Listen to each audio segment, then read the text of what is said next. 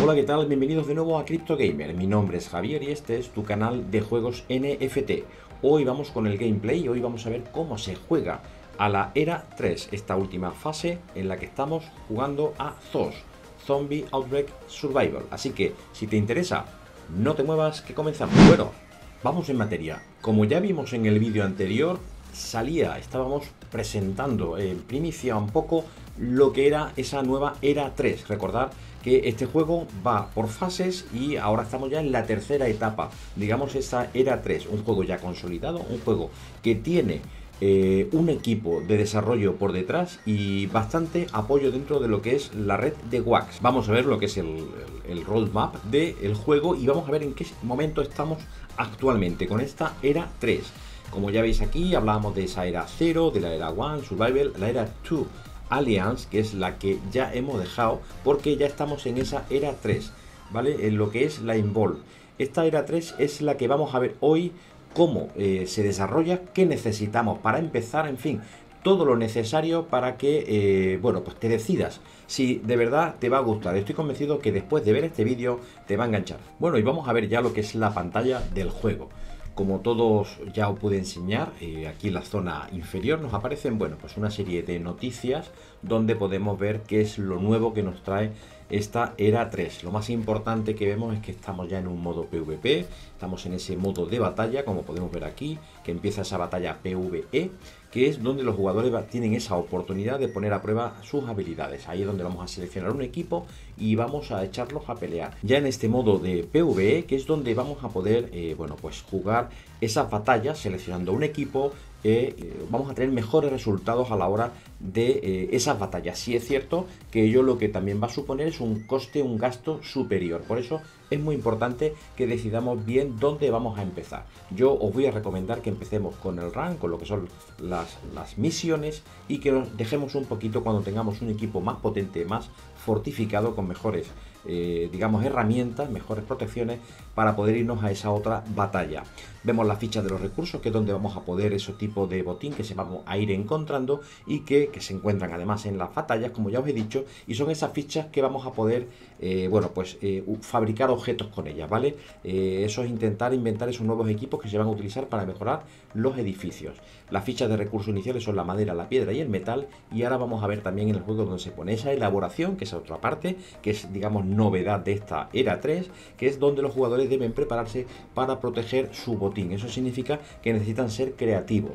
La creación se basa en que los jugadores van a trabajar juntos para encontrar componentes compatibles y eh, para que esos equipos lo que hablábamos en el vídeo anterior. Es un juego que motiva a la eh, comunidad, a, la a, ser cooperativo con otros jugadores, ¿vale? Y bueno, también en la parte del reciclaje que nos va a facilitar esa posibilidad de, bueno, todo eso que nos vaya sobrando, bueno, pues de ir eh, quemándolo, ¿vale? Ir, deshaciéndonos de ello y que también nos va a dar, eh, bueno, pues recursos para poder usarlos en otro tipo de creaciones. Si nos vamos a lo que es el market, en el Atomic Hub, en el mercado secundario, Aparte de poder encontrar esos packs, que como ya visteis había un sorteo y vamos a intentar también conseguir eh, para que a través del equipo de, ZOS nos van a facilitar también para que podamos seguir eh, sorteando entre todos vosotros para que podáis eh, acceder de alguna forma totalmente gratuita a este increíble juego. Así que vamos a ver que también dentro de lo que es el Atomic Hub lo que necesitamos. Fundamentalmente lo más importante que necesitamos van a ser un arma, un personaje, un arma y una protección. Digamos que esos son los tres básicos. ¿Qué nos encontramos al margen de este? Al margen de, lo que sería el personaje, el arma y, esa, y esa protección, ese escudo, eh, vamos a necesitar comida, porque eh, en nuestras misiones, eh, en el rank, que es la especie de misiones de, que vamos a ir enviando a nuestro personaje, vamos a consumir eh, nuestro alimento para ir recuperándolo, ¿vale? Porque van a consumir, se van a ir desgastando y el premio que vamos obteniendo precisamente es ese. Ahí es donde vamos a poder ir, bueno, pues mejorando, eh, recuperando la salud de nuestro eh, personaje. Vámonos ya a ver lo que sería el juego, la pantalla del juego. Tenemos aquí la parte principal, los ranks, que son estas, eh, como ya os he dicho, estas misiones, que es la que vamos a ver más en profundidad. Después tendríamos lo que es el inventario. Aquí tenemos nuestros supervivientes, tenemos nuestras armas, vamos a tener también nuestros escudos, la comida, que es ese otro recurso que vamos a necesitar para ir curando a nuestros survivors y que también son, eh, digamos, la recompensa dentro de esas carreras, de esas misiones que vamos a ir haciendo. Después eh, los packs, caso de que tengamos todavía eh, alguno de esos packs que podemos ir comprando también en el market secundario y bien pack también de comida, ¿vale? Son packs que tienen mayor, mayor cantidad de recursos. Después tenemos lo que es el equipamiento, el equipamiento lo vamos a usar en lo que son las batallas, en las PV, ¿vale? el equipamiento no lo utilizamos en las misiones normales y son un añadido más eh, digamos, para fortalecer o para hacer más potente nuestro equipo que mandamos a la batalla. Y después tenemos las promos, en este caso no tengo ningún ítem ahí que se pueda comprobar ni que hayamos adquirido. Si nos vamos a lo que es el modo batalla, que esta es una de las grandes novedades que nos encontramos en, el, en la era 3, vemos eh, que tenemos para enviar, podemos enviar diferentes, ¿vale? Todo lo que tengamos o uno solo.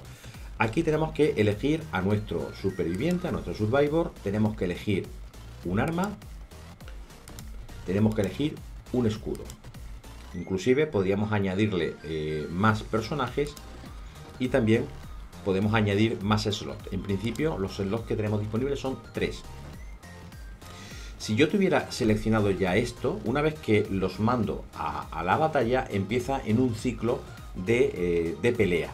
Vale, una vez que tenemos a nuestro equipo eh, seleccionado, tenemos una cantidad de estamina, que es eh, esa energía que necesitamos para, bueno, pues para, para, pelear, para batallar. Nos va a salir que estamos usando solamente un slot, la batalla cero, ¿vale? Y nos indica al otro lado, bueno, pues el personaje contra el que vamos a eh, luchar. Nos da una recompensa, tipo de recompensa puede ser Smasher y Zetagut, o sea, van a ser esos dos componentes que ya os he que son los que vamos a ir recuperando y vamos a ir llevando a esa otra zona, eh, que es también novedad. Y aquí es donde vemos eh, lo que podemos elegir. Podemos elegir también un estilo de ataque. ¿Vale? Aquí en función también de lo que tengamos, podríamos depositarlo y podríamos hacerlo. El cóctel molotov se usa solamente el ataque asalto. Así que en este caso vamos a darle y lo vamos a dejar ahí puesto y podemos elegir en este caso la otra carta de asalto que era la que eh, te indiqué que era solamente se podía utilizar aquí. Entonces bueno pues la podríamos dar confirmar y la tenemos que añadir a nuestra eh, digamos a nuestra partida. Bien en este caso si yo ya quisiera darle la batalla ya vamos a empezar en esos ciclos de peleas hasta ver hasta dónde llegamos. ¿Qué ocurre? Que es muy importante que sepáis que vamos a ir perdiendo estamina y vamos a ir perdiendo también vida, porque cada vida vamos a tener un daño. Este aquí nos dice que podremos recibir un daño de 25.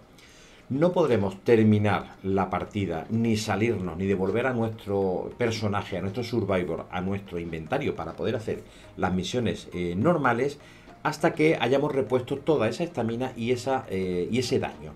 Y eso solo vamos a poder hacerlo con comida. Para ello, o bien hemos hecho previamente muchas misiones de RAM para tener ese, esa comida almacenada y que nos permita entrar en la batalla, en el PvI, de una forma totalmente tranquila, sabiendo que vamos a poder recuperar nuestro personaje, o bien compramos el token del juego, que es este que veis aquí arriba, que tengo 32 unidades, y este es con el que vamos a poder también, bueno, pues recuperar de alguna forma ese coste, lo vamos a poder pagar también con monedas comprando esa comida si no la hemos eh, encontrado con nuestras incursiones, con nuestras misiones. Bueno, una vez recuperado nuestros personajes de la zona del PvI, que recordar que si entráis vais a tener que al menos eh, competir con una, una misión, lo cual va a tener ya un coste de recuperar esa estamina, que como ya sabéis la pagamos con el token, y la salud, que la recuperamos con la comida.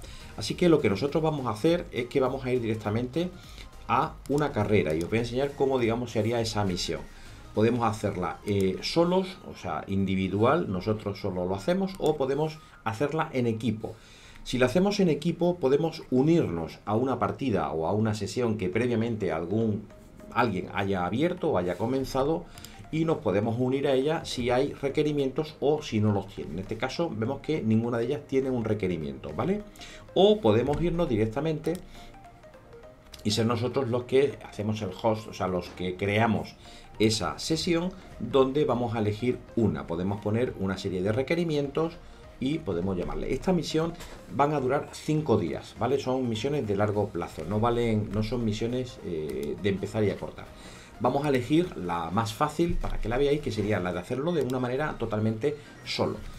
Lo primero que hacemos, una vez que nos venimos a esta parte de hacer esta misión, tenemos que elegir el tiempo de duración. ¿Cuánto va a durar nuestra misión? En este caso, por ejemplo, vamos a marcarle 4 horas, ¿vale? Después el siguiente paso va a ser elegir a nuestro héroe. Vamos a coger, pues, por ejemplo, a esta, a Eli. Después vamos a elegir un arma. Vamos a elegir pues, el cóctel Molotov, por ejemplo, y después vamos a escoger un escudo, ¿vale? Aquí, debajo de cada uno de ellos nos va indicando un poco también cuál es la capacidad de protección, cuál es la capacidad de daño como arma, ¿vale? Y cuál es también, bueno, pues la vida, un poco la, esa, esa, capacidad que tiene de, de vida el personaje. Así que en este caso, por ejemplo, vamos a coger esta bajo, riesgo eh, de que haya muerte. Eso es importante que lo tengamos siempre verificado y eso nos aparece aquí abajo. Al hacer esta misión eh, no hay problema, no va a haber problema ninguno de perder a nuestro personaje, ¿vale? Pero mucho cuidado porque si eh, perdemos el personaje, si muere vamos a perder el NFT, así que mucho ojo con eso. Una vez que lo tenemos simplemente pues le damos a empezar. Y aquí nos va a pedir que firmemos la operación y una vez que firmamos la operación va a empezar ya nuestra eh, carrera, nuestra misión. Veis que aquí ya nos aparece una primera misión donde hemos enviado bueno, pues a nuestro personaje con sus diferentes eh, añadidos, que son sobre todo, como todos sabéis, tenemos que marcar las horas, tenemos que marcar el escudo y el armamento que vamos a utilizar. Así podemos hacerlo tanto cuanto personajes dispongamos. En este caso, si yo quiero, le vuelvo a dar a nueva carrera, nueva misión, vuelvo a marcar 4 horas, elijo al otro personaje, como solamente tengo dos, no puedo ya, eh, digamos, elegir más que lo que me queda, ¿vale? Podríamos darle auto relleno o vamos a darle directamente. Aquí me dice que hay un medio, un riesgo medio, ¿vale? Eh, vamos a aceptar ese riesgo medio y vamos a darle a, a probar y vamos a darle a la carrera. De igual manera nos aparecen ahora ya los dos. ¿Vale? Estas son las dos batallas que hemos, eh, las dos misiones que acabamos de enviar. En cuatro horas podremos hacerle el claim y vamos a ver qué es lo que nos traen. Aquí, como ya os digo, este tipo lo que nos trae es alimentos, nos trae la food, que es lo suficiente para poder ir curándole sus, eh, bueno, pues sus, eh, su, fortaleza, su vida y volver a alimentándolo. Aquí en el, en el otro, en Hell, lo que tenemos es la posibilidad, vamos a ver nuestra comida, cuánto tenemos y aquí donde vamos a poder eh, bueno, pues eh, a nuestros supervivientes, a nuestros survivors, podemos ir facilitándole eh, lo necesario para ir curándolos. Después tenemos el otro, la otra pestaña que es el crafting, aquí donde nos va diciendo que podemos convertir. Aquí tenemos lo básico, convertimos piedra a, ¿vale? de los logs, convertimos el Z-Wood 1 a 1000. Aquí vemos cuáles son los ratios de conversión y que bueno, tenemos la posibilidad de que salga un crafteo no satisfactorio o sí satisfactorio, ¿vale? También libros de recetas, podemos eh, craftear herramientas, podemos hacer, tenemos blueprint para poder crear nuevos, en fin, hay muchísimas eh, posibilidades de elementos que podamos eh, bueno, pues crear en el, en el juego, ¿vale? Aquí tendríamos que ir eligiendo, pasa que en este caso yo no tengo todavía suficiente no he encontrado materiales como para poder hacer ningún tipo de crafteo, con lo cual no voy a poder enseñaros eh, cómo se hace, pero sí en el white paper viene bien explicado y aquí esta es la parte donde se haría. Después tenemos lo que es el, store, lo que es el almacén interno del juego, ¿vale? Aquí donde vamos a poder adquirir bien recursos e incluso podemos recibir, bueno, pues esos packs que tenemos a la, a la venta. Ahora mismo lo que quedan son los estos starter kit, que quedan 88. El starter kit es todo lo que necesitas para, eh, para poder comenzar a jugar eh, de una manera completa y viene todo lo necesario para poder empezar a jugar y a disfrutar del juego. Y recuerda que usando el código de CryptoGamer a la hora de comprar el juego, vas a poder el código de creador, eliges aquí CryptoGamer y vas a tener ese 10% de descuento en el pack, o sea que se te va a descontar del precio en bucks y vas a poder hacerte con ese descuento para empezar a jugar con este ejemplo, con este sample del Run Starter Kit, ¿vale? Donde nos va a venir un Survivor, un Booster Pack, un armamento, una protección y tres eh, de, comedia, de comida mediano, tres packs de comida mediano, ¿vale? Que son todo lo necesario. Con eso te digo que vas a tener suficiente como para poder empezar a jugar. Y después ya lo que sería el marketplace, bueno, pues aquí tenemos el mercado de compra y venta, donde diferentes eh, jugadores, tú mismo, sin salirte fuera eh, sin irte a ese otro mercado secundario, aquí no vas a tener que pagar comisión, vas a vender directamente, con lo cual vas a tener ese, ese otro beneficio de poder eh, hacer tus ventas y tus compras in-game, lo cual es otro beneficio añadido, otra buena idea del equipo de Zombie Outbreak Survival ZOS para que nos sintamos, digamos, bueno, pues más cercanos a lo que es el juego. Eh, bueno, dicho esto, eh, básicamente esta es eh, lo que nos puede traer esta era 3 del juego de ZOS. Es un juego, como ya veis, un juego donde no solo es mandar esas misiones, que también, que tiene ese, ese, menú de runs, donde lo que hacemos es básicamente enviar unas misiones para ir cogiendo una serie de recursos. Esos recursos son los fundamentales que nos van a hacer falta para poder comprar el token eh, del juego y poder eh, tener esos alimentos para ya poder hacer esas batallas, esas PvE, que es donde de verdad vamos a obtener el beneficio dentro del juego. Pero para ello recordar que como vamos a tener que recuperar la salud y la alimentación para poder eh, recuperar a nuestros eh, personajes y además hacer el claim de lo que hemos ido eh, recolectando, ganando en esas batallas, es fundamental que antes tengamos previsto eh, bueno, pues todos esos recursos necesarios para poder emprender las batallas en modo PvE con total garantías. bueno, dicho esto, lo que siempre os digo, espero que os haya gustado el contenido de esta review, de este gameplay, de esos, de zombies eh, survival y eh, que si os ha gustado el contenido, como siempre os digo, pues que os, suscribáis al canal, que le deis un like, que activéis además las notificaciones para no perderos ni un solo detalle y de las siguientes novedades. Eso sí, te voy a pedir que por supuesto en lo que es el en la descripción del vídeo voy a dejar todos los apartados, toda la información que aquí he dicho y que por supuesto se aceptan y os invito a que me dejéis cualquier tipo de comentario y sugerencia que podamos hacer para traer mejor y mayor, cada vez mejor y mayor contenido al canal de Cristo Gamer. Así que nada más y nos vemos en el siguiente vídeo.